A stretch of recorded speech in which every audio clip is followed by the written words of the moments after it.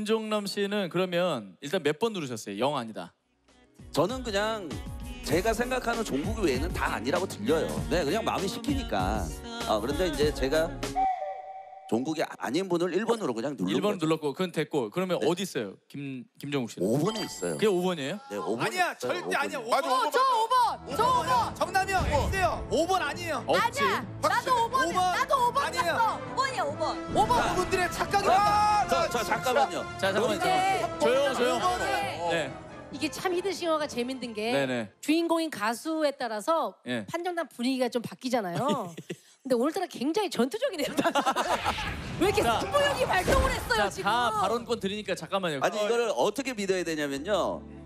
이게 귀로 알아들으려 그러면은 안 되겠더라고요. 왜냐면 오. 너무 실력들이 쟁쟁하세요. 그래서 어, 지금까지는 김정남 씨 말이 신빙성이 있어요. 네, 그런데 그냥 들으면은 어.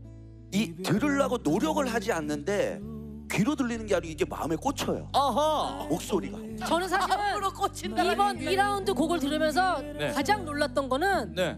생각보다 김정남 씨 노래 분량이 너무 많아요.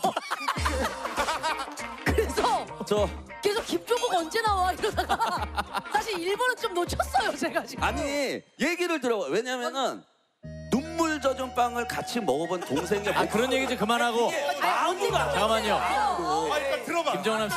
여기 아이들 친구들은 그 말이 무슨 말인지 몰라요. 눈물 젖은 빵이. 젖은 빵이 언제 저 빵이에요? 되게 짜겠다 그러겠죠 뭐. 자 일단 일단 들어봅시다. 5번이 김종국 씨. 5번. 5번. 어, 자 아이들 거의 다 들었고요. 레떼아모로 다 들었고요. 5번이 김종국 씨. 어, 어, 예, 김 김종국 아니 씨. 5번이 김종국 씨라고. 네. 에이. 이거 종국이 아는 사람들은 이거 말도 안 돼요. 제가 아니라고 생각하는 사람은 5번이에요. 어, 어? 아니라는 사람. 아니라고? 아니라고. 아, 제가, 제가 말씀드릴게요. 5번이 네네. 아까 1라운드 6번 분이에요. 맞아 맞아요. 되게 자, 김정우 씨 흉내를 잘 내는 분. 알겠습니다. 그러면 김정남 씨는 눈물 젖은 빵을 먹어봤기 때문에 나 눈물 저 젖은 빵이야. 가슴을 울리는 목소리. 가슴 울리고 5번밖에 없었다. 그렇죠. 5번밖에 없어요. 춤을 질러